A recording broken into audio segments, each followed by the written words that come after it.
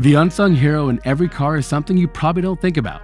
It's this your tires. And if you've ever heard that EVs chew through tires, here's a newsflash. Yes, on average, EVs are heavier than their gas counterparts due to the batteries, and the instant torque blows old gas cars out of the water too.